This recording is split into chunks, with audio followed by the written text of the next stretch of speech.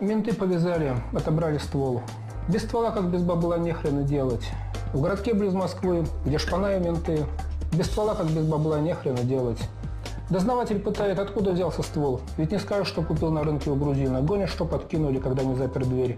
Бегал за водкой до магазина.